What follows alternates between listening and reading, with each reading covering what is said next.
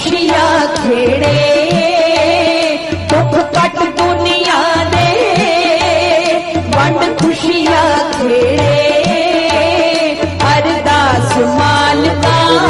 ਚੇ ਵੀਰੋ, ਸਿੱਖ ਹਿੰਦੂ, ਮੁਸਲਮਾਨ ਜਾਂ ਇਨਸਾਨ। ਭੇਦ ਭਾਵ ਇਥੇ ਹੋਇਆ ਬਥੇਰਾ, ਹੁਣ ਤਾਂ ਲਾਇਆ ਰੱਬ ਨੇ ਡੇਰਾ। ਪੇਸ਼ ਕਿਸੇ ਦੀ ਕੋਈ ਨਾ ਚੱਲੇ, ਕੁਝ ਨਾ ਸੱਜਣਾ ਰਹਿ ਗਿਆ ਪੱਲੇ।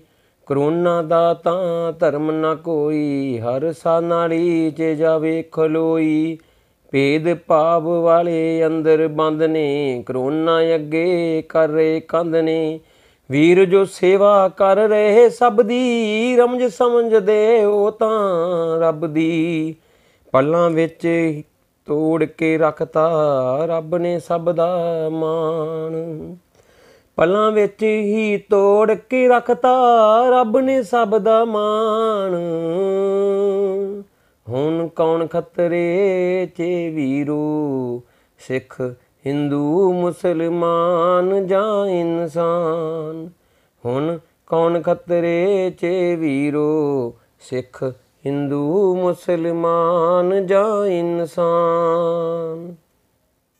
ਖੁਸ਼ੀਆਂ ਖੇੜੇ ਦੁੱਖ ਕੱਟ ਦੁਨੀਆ ਦੇ। ਵੰਡ ਖੁਸ਼ੀਆਂ ਖੇੜੇ